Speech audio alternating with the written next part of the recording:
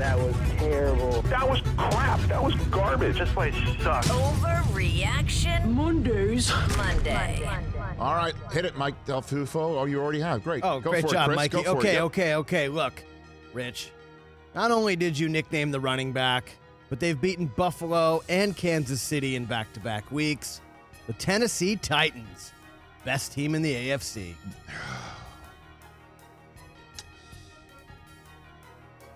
I, I, I can't deny it. Honestly, who do they need? Who else do they need to beat other than the defending champs, two times over in the conference, and make them look pedestrian, average, sometimes less than average, and then uh, the the Buffalo Bills, who a lot of people think that's the one. I will say this in earnest: when do they take on the Raiders or the Bengals?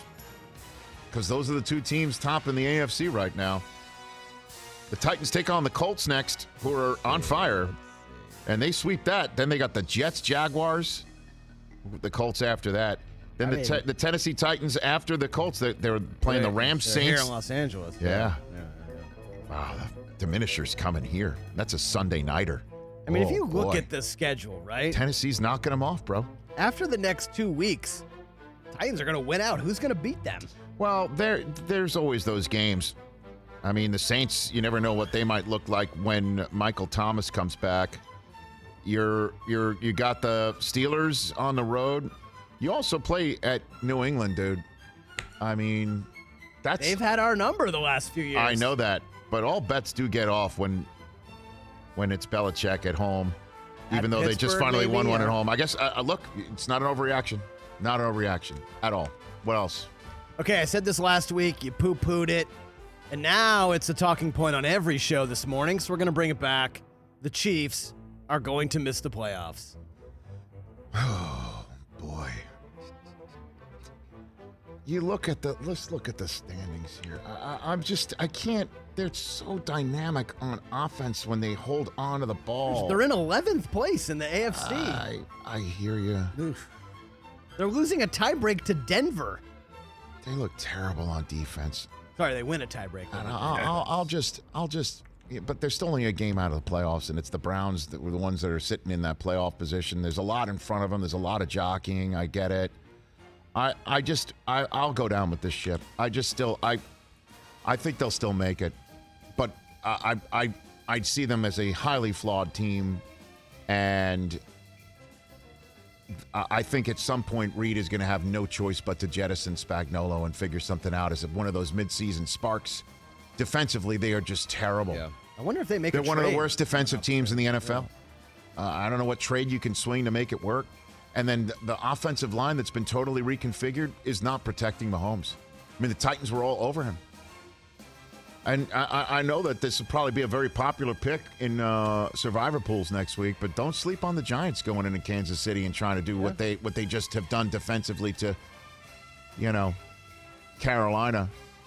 If you're if you're average on offense and you can't hold the ball, or you're average on you're subpar on defense and you can't hold on to the ball on offense, you're going to lose to somebody like the Giants.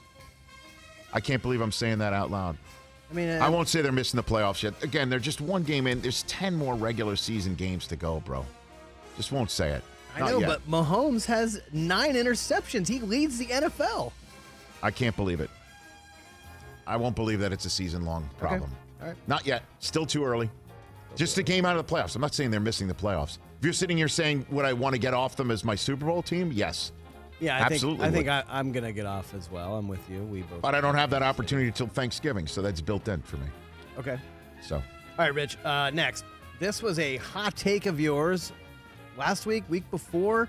You said they were going to play a meaningful 17th game this year. I'm going to take it one further, Rich. The Cincinnati Bengals are going to host a playoff game. I think that's a good, um, a good overreaction Monday subject matter.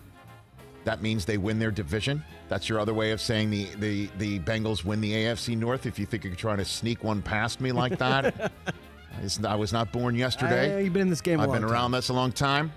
um, what do you need to do to win your division? You need to do the following: win a lot Yes. and win on the road in the division. Their two division games they played so far at Pittsburgh, at Baltimore, they've won them both. They are through seven weeks your favorites to win this division because the Steelers is and the look a 500 team that doesn't appear to be able to string too many wins together. The Browns quarterback is out, and the Ravens have now lost at home to the Bengals. I'll say that's not an overreaction. I'll go with it right there, Chris. I love it. Not a boy, Rich. Not a boy. I mean, you take a look at the facts. They're 2 and 0 in division, Facts. and they're 2 and 0 on the road. Everybody else has got to come to the jungle, Yeah. with the exception of them going to Cleveland, which I do believe happens later in the season. They get their next division game, Cincinnati, after the Jets come in, is home for the Browns, and they're ready to beat them up, man. If they did that to Baltimore, they can dismantle Cleveland, unless Cleveland gets uh, remarkably healthy between now and then. Yeah, That's 3 and 0 in division. No worse than 500 in division. Let's stick with the Bengals for this next one, Rich, because what this kid is doing, considering what was the narrative surrounding him in the preseason, Yes. Ja'Marr Chase is the best rookie wide receiver since Randy Moss. Don't forget Justin Jefferson also. Oh, that's an overreaction. Come on. Wow. That's an overreaction. I'm not You laughing. want to chime in? Chime in. I- I'm chiming in because three weeks ago, I off air, I tried to praise Ja'Marr Chase to Brockman, and I got the, ah, ah, ah. and now to see him finally Look, come the- around, the I'm world just is like, different 200 than three weeks ago. Well, a 200 yard game later. I mean, I'm just saying, And he keeps I- doing I- it. He he was poo pooing me a few weeks ago and said, "I'd love now to I'm see back. That I'd love be- to see this." Now I'm back. that this may be the case when all the dust settles. But didn't Justin Jefferson just have one of the best rookie receiving seasons ever? Statistically speaking, not what Ja'Marr has been doing. Dude, he can take any ball to the house. the Did you see spinorama, the one spin, I know the I mean, spinorama score. I know, I know, I know. And he blocks for Joe Mixon too. That was awesome. He's incredible. He's, He's incredible. But I'll, I'll just uh, I'll just put a pin in that one for the moment. Seven All right, games I mean, in. it's, it's, it's He's awesome. on pace, as they It's say in the awesome. business. Yeah. It's awesome. Yeah. he- you got that one, Chris. He's So you would there. agree? He's neck and neck. You would I say that's not an overreaction? You would go with that? I I don't think that's an overreaction. Not. I mean, you're just seeing it. This dude's amazing. He's amazing.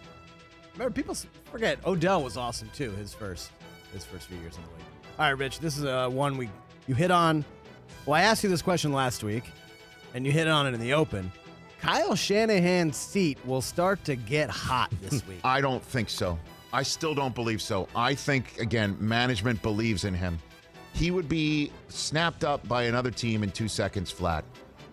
I- I, don't know what the dynamic is in that front office, but the fact that, you know, even the general manager, John Lynch, did not know who they were drafting when they were drafting Yeah. until this guy decided it it if this keeps going in this manner the way the this being this season then there needs to be a conversation about who shops for groceries and how what the say is it just doesn't ever appear to be a winning strategy when the coach chooses the players. Belichick appears to be the only exception to that, and even even in Bos- Boston and New England, you were wondering how much longer in Bill are we going to trust here? Yeah. And then a lot of the drafting wasn't all that great, and they went on some sort of spending spree that you've never seen before.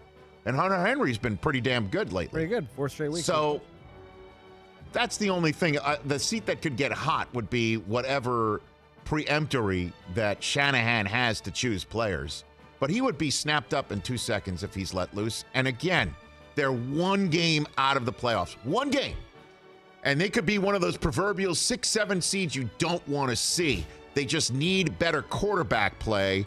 And Shanahan already identified Jimmy G wasn't the guy. And we're seeing more of the fact that Jimmy G isn't the guy. Can Lance be that guy to get them in a sixth or seventh seed and be that dangerous team? That's the question, I think, for the rest of the 49ers season. all right, last one. Yes, sir. Last one, guys. Now, I was going to do something about this last week. I passed. and it worked out. Braves? America is rooting for the Braves in the World Series. Is this the one that Sarah said no, she nuked last week? Well, last week I was going to do the World Se- the Braves are making the World Series when it was 2-0 and I didn't want to jinx it. But now America's rooting for the Braves in the World Series. Uh, I, I, I, I, that's that's a, an inference of are, are the Astros still viewed as cheaters? Yeah, nobody wants the Astros to win. Let's be honest. I mean, that was a couple years ago, and you yourself back then said you didn't care, right? I didn't care. I don't care. I still don't care. Yeah, you do. But America is rooting for the Braves. Care for I didn't care. Don't care. Still don't care. Go Atlanta. Sure, sure, Come Chris. on, what do you mean? Sure, Chris. I hope it all works out in your household. Thank you. She's going this week. Oh, is she really? Oh, good. Terrific. She's going home. Going to Houston. Very good. Oh, she's going to Houston. She wouldn't go to Los Angeles, but she'll go to Houston. Yeah. Way cheaper than going to doing. oh no. finance- Okay, yeah, I got you. finance- Less chance of bodily financial harm decision. too, right? Uh, yeah. That's Overreaction Monday. Well done, Chris Brockman. hey, you watched all the way to the end. Thanks for that. Watch more right here.